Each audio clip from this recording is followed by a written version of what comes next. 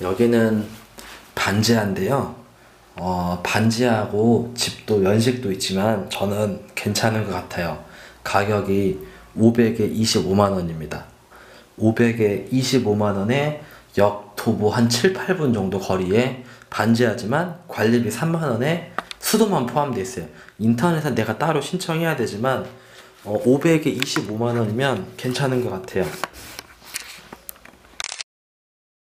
물론 제가 얼마 전에 초특급 S급 1000에 15만 원짜리를 아 1000에 15 어, 1000에 15만 원짜리를 올리긴 했지만 그건 정말 진짜 정말 그- 이것도 이것도 희귀한데 그것도 좀그집 생각하니까 너무 쌌어요 그 집은. 이 집은 500에 25니까 1000을 해줄지 모르겠지만 1000에 20? 근데 방은 더 커요. 1000에 20은 모르겠어요.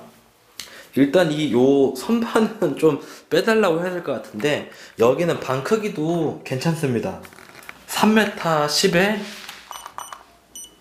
3m 요렇게가 3m 요렇게가 3m 10이나 돼요. 방 크기도 괜찮고 분리형이고 옵션은 또 다 있어요.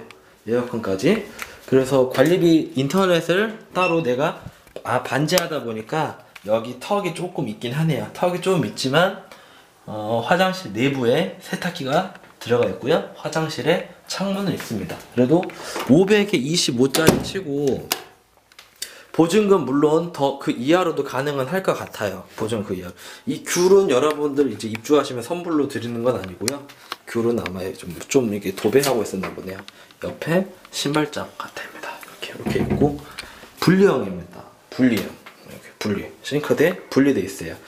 그래서 저 아마 옵션은 인덕션 밥통은 아닐 거고 짐이 좀 몇 개 남아 있나 봐요 지금. 그래서 TV는 물어봐야 될 것 같고, 어 그래서 옵션 그래도 에어컨 세탁기, 냉장고 또 뭐, 뭐가 있어야 돼? 어, 인덕션 이렇게 있고 방 크기 크고 여기서 안 멀고 500에 25에 관리비 3만 원. 저는 괜찮다고 봐요. 월세 많이 싸고 왜냐면 넓이가 넓으니까요. 넓이가 요 넓이에 25만 원짜리가 어디 있어요? 물론 반지하긴 하지만 아무튼 여기까지 어, 찍겠습니다. 반지하지만 그래도 월세 많이 아낄 수 있어서 괜찮을 것 같습니다. 어, 재생 목록 누르시면 가격대별로 방 다 정렬 해 놨으니까 요거 보시고 어, 시세 참고하시면 되고요. 그리고 저희가 사무실에 저랑 대표님이랑 유튜브를 각각 운영하고 있어서 어, 제 걸 보신 분은 저한테 연락을 좀 주시기 바라겠습니다. 여기까지.